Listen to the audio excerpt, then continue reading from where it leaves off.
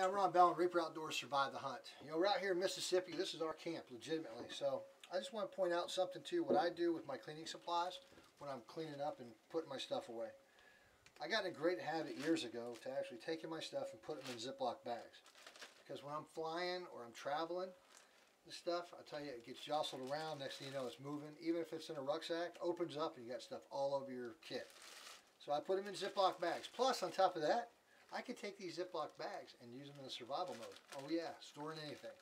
So as you can see, I've got my Seal 1 in a Ziploc bag. I've got my rags in a Ziploc bag. Keeps moisture off them as well. Protects your stuff. I got another Ziploc bag right here. Boom. Even the paste I put in a Ziploc bag. So, bottom line folks, while you're out there, you know, get yourself a couple Ziploc bags, protect your stuff. It protects what's in it, and it protects what's outside of it. This is Reaper01 with Reaper Outdoors. And don't forget, check us out on Facebook, Twitter, Instagram, and go to our website, reaperoutdoors.com, and become part of Reaper Nation. This is Reaper01, out.